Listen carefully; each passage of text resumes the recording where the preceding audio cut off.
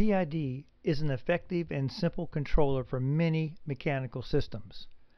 I hope the following examples and tuning procedure help you apply PID to your system. In the first demonstration, the PID controls a VEX EDR through a series of 180 degree turns. The updated desired heading is sent to the robot at a rate of 10 times per second. The sequence of heading commands is plotted in red. The commands change from 0 to 180 to 360, then back to 180 degrees in steps. The robot responds by changing its actual heading to match the desired heading. The response is plotted in blue with crosses marking each updated response. It takes approximately one second for the robot to complete a 180 degree turn. We're going to do a series of 180s.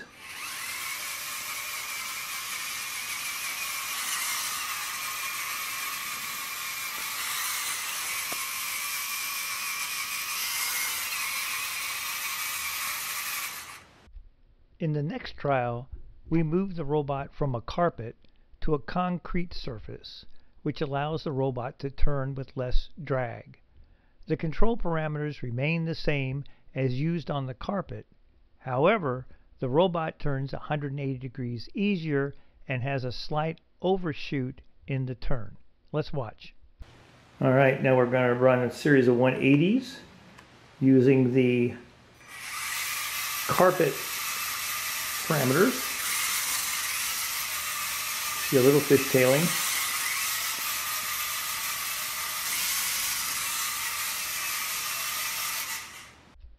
In the next demonstration, the heading commands increase in frequency. The robot at first follows, then falls behind. The increased overshoot in the middle of the graph demonstrates a resonant frequency for this particular build. Toward the end of the plot, the robot is 180 degrees out of phase. Let's watch. All right, now we are doing the chirp. The uh, BD is equal to zero, there's no derivative. The KP is back up to one, which it was for proper running with the squares and the 180s. And you can see here the jerking, its wheels aren't getting traction. And so it's too responsive. In the next trial, we changed the control parameters to add drag or damping in the software. It mimics the damping we had in the carpet. We have the same control command sequences as before, but the additional damping allows a better controlled response. No resonances occur, and the car reasonably matches the command directions. The delay between the command heading and the actual heading is due to time needed to transmit the request and receive the response, as well as mechanical inertia, which resist any change in position. Let's watch. All right, we're going to do a chirp again. We're going to leave the KP equal to 1 for large excursions, and we're going to have the derivative in there. Notice that you're getting good response. And that ends it. Now I have a puzzle for you. In the upcoming trial, each command requests a heading change of an additional 3 degrees. The result is a linear change in actual heading. So, what's the path of the robot?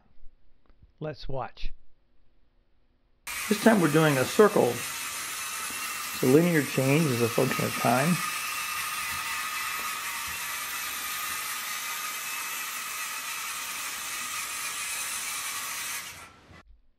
The next three trials control a second motor, motor 2, to make its encoder value match encoder value of the drive motor, motor 1. If the encoder values match, then the average motor speeds match, and the number of axle rotations match as well over the time of the trial. In this case, the error is dt, the difference in the encoder values. The control parameter V is the sum of three components, P, proportional component, I, integral component, and D, derivative component. We need to write equations to change motor behavior to minimize V.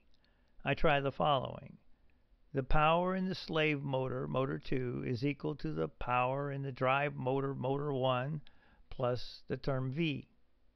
V varies to minimize the error dt and match the encoder values. I will talk more about the components P, I, and D in the tuning section after these three trials. Okay, now the left wheel is the lead wheel and the right wheel tries to follow the left. So I'm now going to start the program. And you can see they started up right away. It's going to go from 60 to power 30. And then back to 60. And if we do it correctly, the encoder, encoder of the right and left wheels should be very close together. So let's look over here. That's what the, well, I'll get this, there you go. That's what the screen looks like where the uh, wheel that's following is blue and it overcompensates and then comes in. And then when we go down to 60, it remains in. Go back up to 30, it remains close in terms of uh, power. And in terms of the final encoder numbers for the two, we get uh, 9834 and 9840.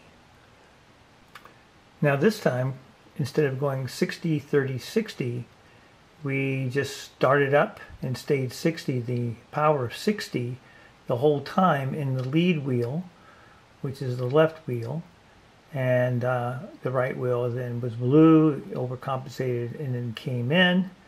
And if you look at the final numbers after uh, the whole length of time, we've got um, 11,404, 11,405 for the encoder. So that's excellent tracking.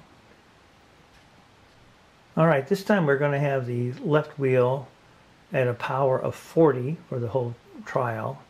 And then for the right wheel, I'm going to put my hand on it and put drag on it. So it's kind of like cruise control going up a hill where the engine has to work harder. Now in this case, it'll motor on the right hand side will work harder in order to make the encoder on the right wheel uh, maintain being close to equal to the one on the left. So let's give it a whirl and see what happens. So here we go. We're going to start with the left wheel going at 40 and the right wheel is going to try to tag along. Here I come.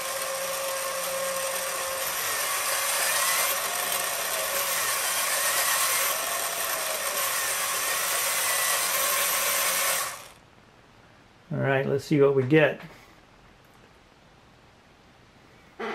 Here you got you can see the power to the uh, right wheel is increasing every time I put drag on it. Okay? And uh, I did that quite a bit as you can tell. And see if I can get this so it's square. There you go. Yeah. And then uh, here is the uh, numbers at the end. We have um, the uh, right encoder is 8853 and the left encoder is 8874. Not perfect, but very close. To understand tuning, we need to understand these coefficients. Kp, the proportional coefficient, Ki, the integral coefficient, and Bd, the derivative coefficient. Another variable is the error, dt, which is equal to the desired value we want to control minus the actual value in the system. The examples I gave so far were to minimize desired and actual heading and minimize desired and actual encoder values. There's a lot of writing here, but most are just comments. We have four simple equations. The first defines P as Kp times the error dt. P gets larger as dt gets larger. Kp defines the rate that P increases with a given error. I is a little different. In this case, the new value of I equals the old value of I plus Ki times error. If dt is small and remains the same sign, I will continue to increase or decrease depending on the sign of dt. When dt equals 0, I remains constant. Component I was useful in the middle trial of the previous three trials matching encoder values. In that case, the drive motor was under a constant or steady state power of 60. The slave motor power varied by V to minimize dt. Component I continued to slowly change to reduce that error and by the end of the trial, the difference in the encoder values were 11,405 minus 11,404, a tiny error indeed.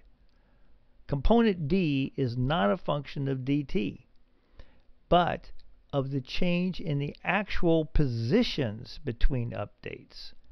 D is negative for a positive difference.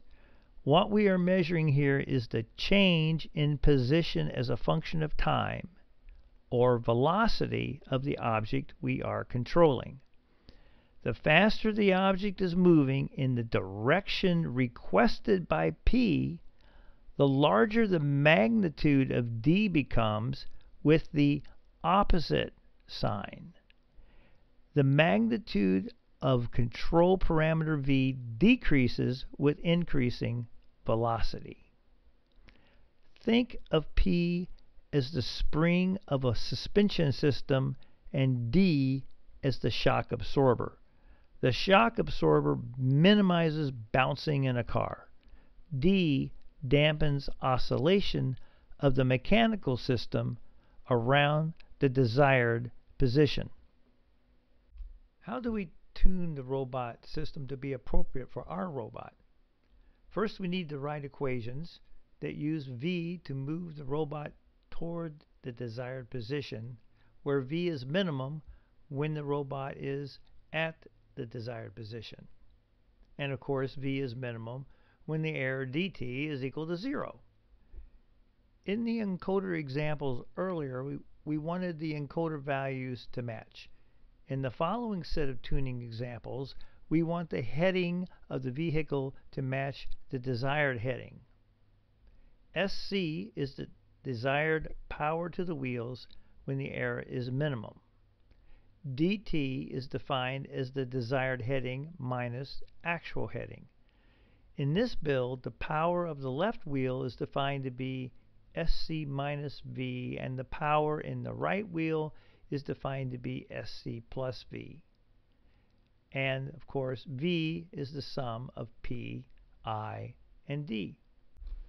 With the equations relating V to wheel powers determined, the next step is tuning. Set Ki and BD equal to 0 and find a suitable starting value for P. We use an abrupt and large change in the desired heading to tune our controller. We start moving at a heading of 0 then abruptly change the desired heading to 90 degrees for a few seconds. We watch the behavior of the robot. We increase P until we get an underdamped oscillation around the desired value of 90 degrees. This happened when Kp equals 1.5. When we set Kp equal to 1.5, we got this behavior for the step change in direction. Note that the vehicle turns more than 9 degrees or overshoots, then undershoots, then overshoots, and so on. Let's watch the video of this trial. T2 oscillation.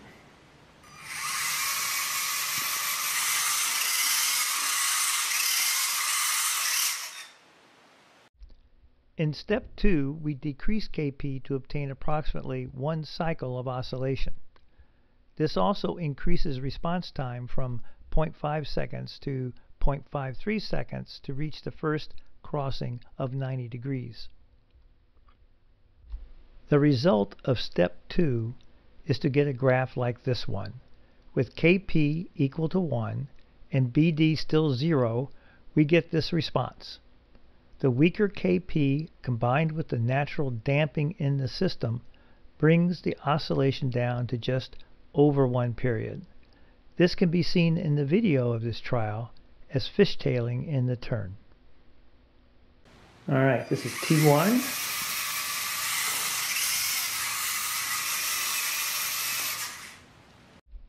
We now augment the natural damping with some software damping by increasing BD to 1.7.